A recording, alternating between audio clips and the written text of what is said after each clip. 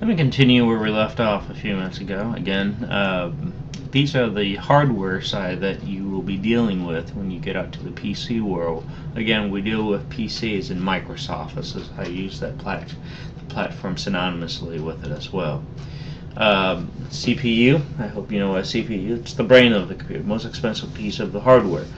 More more important because it's the type of gold that's why it is expensive. It's uh, Go is a wonderful type of conductor that um, sends signals, electrical signals around. It's probably the only piece of hardware in your computer that has uh, gold uh, built into it because of conduction with it as well.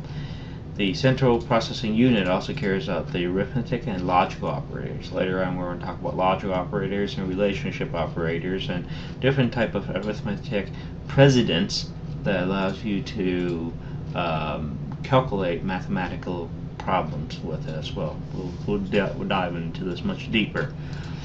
If you take a look at this wonderful diagram, this is from your book, this is figure 1-1, um, it depicts a really good, good, good meaningful picturesque graphic and this stuff we're talking about is pretty abstract but this you know D.S. Malik MS, uh, D.S. Malik the author uh, does a wonderful job uh, on on this on this diagram and let me walk you through what he means by this if you notice the green box here it contains the CPU and your main memory it talks back and forth with it so when the CPU it loads up and is processing it's running back and forth between uh, here with it. And you notice the secondary storage, your C drive is outside of that.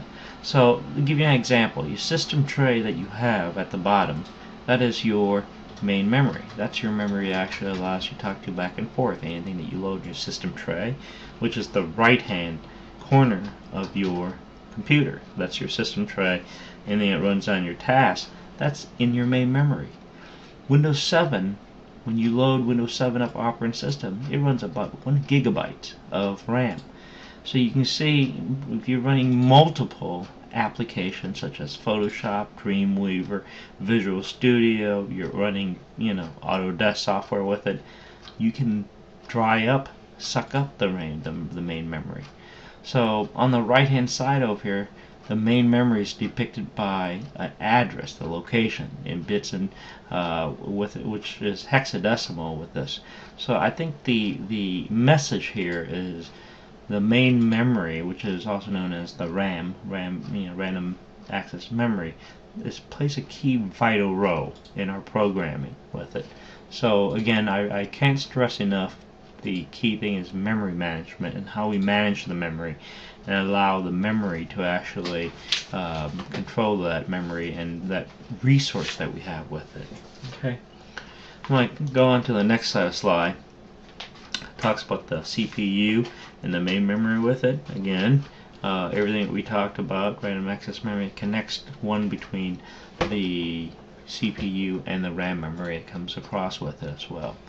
So um, this is probably this next slide is the secondary storage hard drive, flash drive. The only thing that's probably relevant on this is the hard drive disk.